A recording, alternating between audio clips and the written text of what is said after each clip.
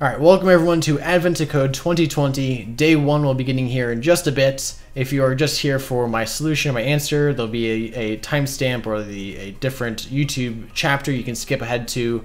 If you are new to Advent of Code, don't know what it is, feel free to stick around as I will explain here.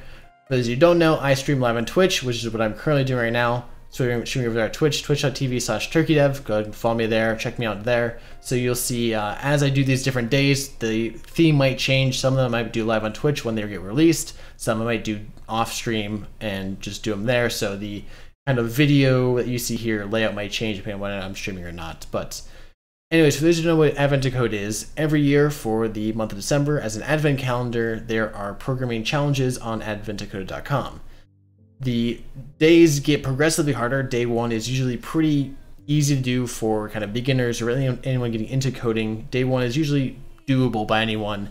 Day two gets harder and they do kind of ramp up pretty fast after that. So day one, like I said, is beginner level. Day two is how you get closer to intermediate. Day three is for sure intermediate. Day four is getting harder and harder and harder. I would say about by day 10 or so, you're actually getting into pretty difficult problems.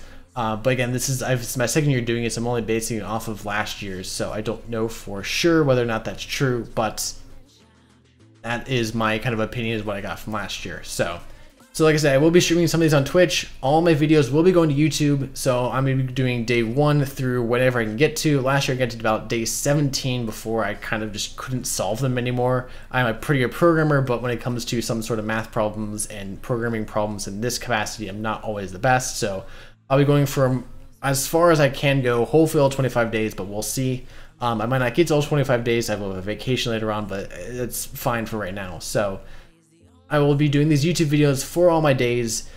I won't be releasing the video until about 8 hours after, so about 8 a.m. Eastern Standard Time is when I'll release these videos, assuming I do it that night. If I don't do that night, the video will come out just whenever I finish the project or whatever the day's challenge is. So the reason why I'm doing that is just so that way I don't post a video too quick and people kind of don't do it for themselves. So hopefully by delaying it eight hours or so, it at least gives people a chance to try it without kind of cheating going straight to my videos. So, so I do have some base code. Uh, for, so for these Advent codes, I do have some base code here that I will be using. Um, basically, it's just a system I set up that way it auto loads files. I can just dump things into this res folder and it'll auto load the correct day um, and provide the input from that file here. It's just a convenience thing for me. You could easily do this without it.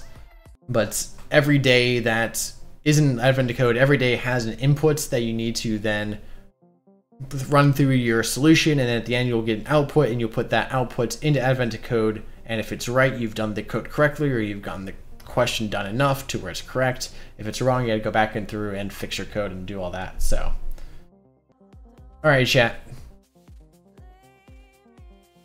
10 seconds here. We'll get the we'll get the question, we can then read it, and then we'll go ahead and code a solution. I'm not trying to get to the leaderboard, but who knows, maybe one day we do. All right, day one here. After saving Christmas five years in a row, you've decided to take a vacation at a nice resort on a tropical island. Surely Christmas would go on without you. The tropical island has its own currency and is entirely cash only. Nice. The gold coins used there have a little picture of a starfish. The locals just call them stars.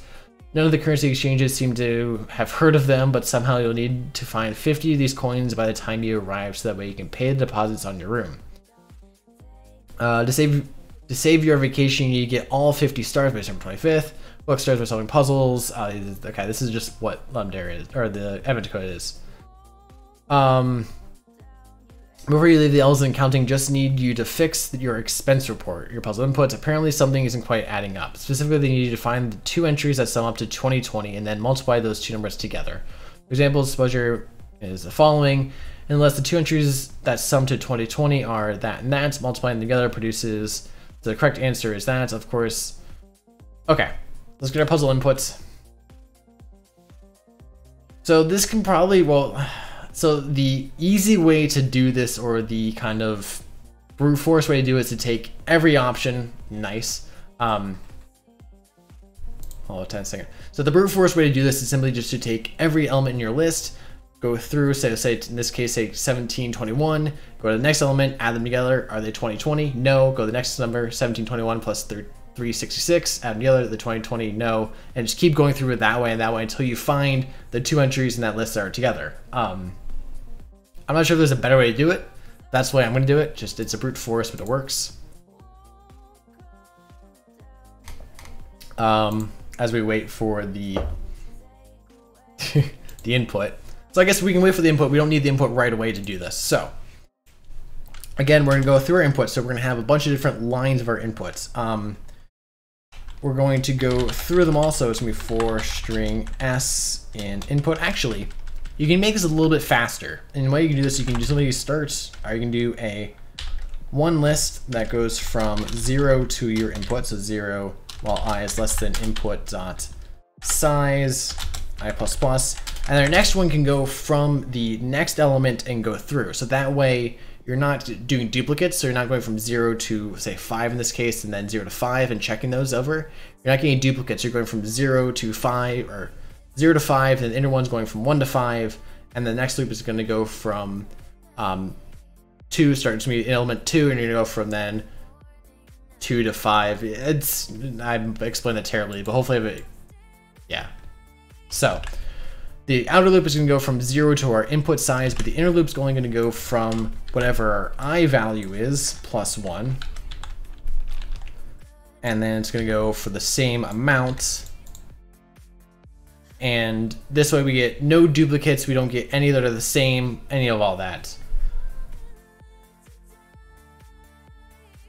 That would make the sum 20. That's, that's sort of what we're doing Code Wolf. We just don't know which one it's going to be though. Um, so we're going to do cast to integers. I could change this, but whatever. Uh, integer um, i1.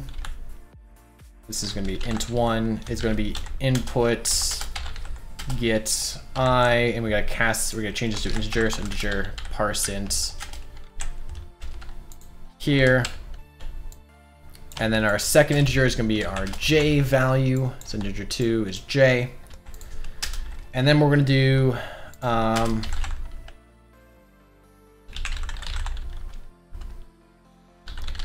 we're going to store these out here. Um, answer 2. So we're going to quickly check if int one, actually we don't even need to do this, we can just kind of ignore this. We can do int one plus int two equals 2020. If that is the case, we can just simply do system out print line and we can do int one times int two. Uh, let's make this a little pretty. We can do answer and then we can just return. Kills it there. Eh, good enough, I guess, um, for day one. Did I get my uh, puzzle input yet? Nope.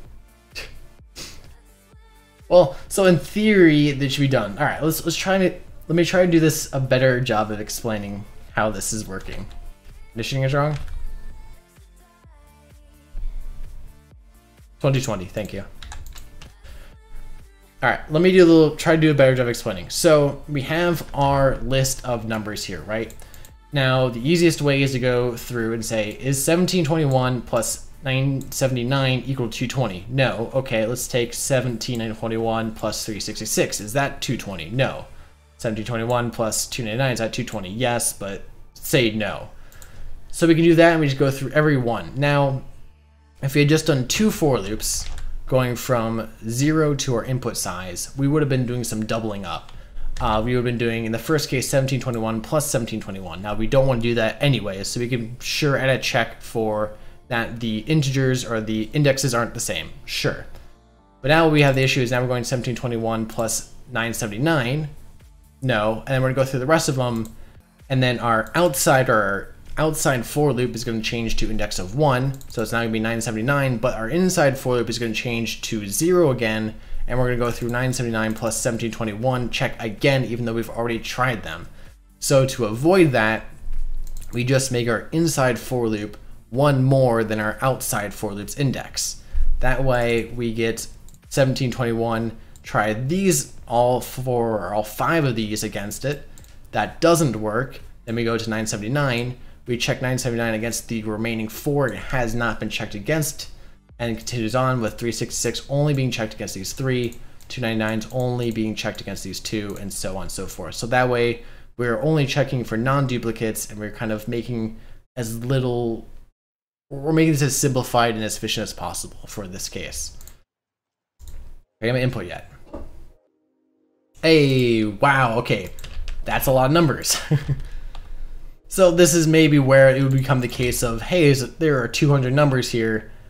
Efficiency may be, might be needed. So uh, let's go ahead and run this.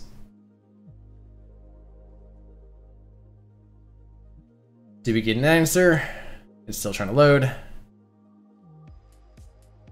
And we get this is our answer. If we plug this in, submit. Hey! Anyways, on to part two. There are two parts to all these questions, by the way. Elvling Gunjay, thankful for your help. One of them even offers you a starfish coin that they left over from the pacification. Um, I'll offer you a second if you can find three numbers in your expense report that meet the same criteria. So we're going to do the exact same thing. Now we're just going to add a third for loop. Same principle. This third for loop is going to be the exact same, but instead of it being i plus 1, it's now going to be j plus 1.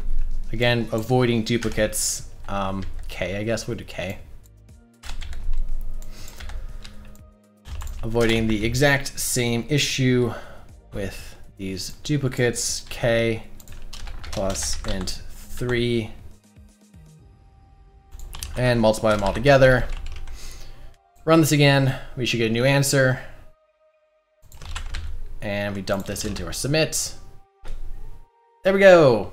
We completed day one. So, there we go. Hopefully that has made some sense to you guys. Hopefully that has helped you out in understanding how this all works. Again, this this day one is very easy if you're a new programmer.